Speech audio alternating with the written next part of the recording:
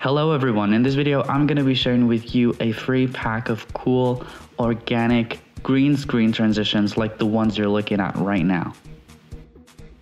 These transitions do not only work with Adobe Premiere Pro but also with After Effects or any other advanced video editing software. I'm going to show you how to apply them in a minute, but before that, please do not forget to like this video, subscribe, and click the bell button, that helps a lot.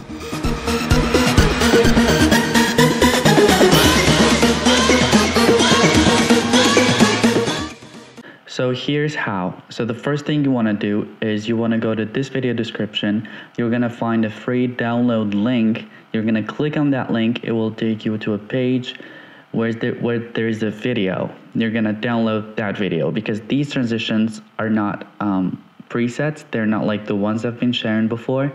They are in a video format.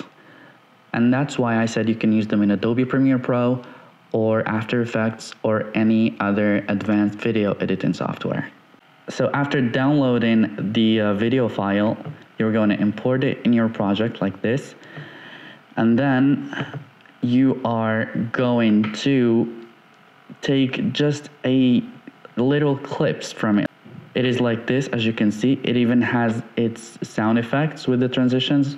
So it's a green screen transitions and you're gonna pick your like the transition you wanna apply like I did here as you can see. Let me zoom in a little.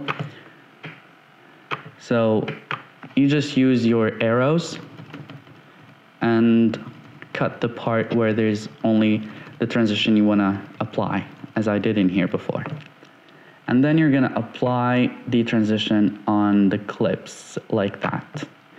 So you want to apply it here because you're to have to drag the second clip on top like that. Actually, they got to be aligned like this. And this one should be here as well.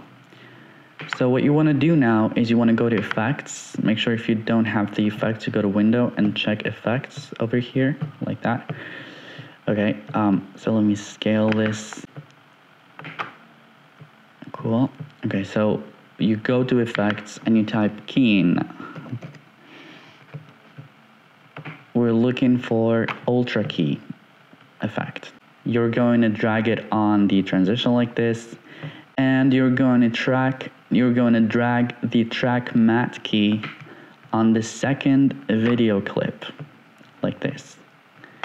So now let's go to the effects like this so in the ultra key effect, you want to select this color so that it gets rid of it like this.